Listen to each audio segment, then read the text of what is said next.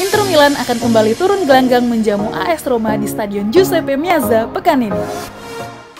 Bagi gelandang Inter Milan yakni Raja Nainggolan, duel ini akan dipastikan menjadi laga emosional. Sebab sebelum direkrut di Nerazzurri, karir pemain berdarah Indonesia itu sempat cemerlang bersama AS Roma. Sedangkan bagi AS Roma, ini adalah laga krusial untuk menentukan kesempatan mereka menyalip sang rival. Demi mendapatkan tiket ke Liga Champions atau bahkan berkesempatan langsung menyalip AC Milan jika AC Milan gagal meraih poin penuh.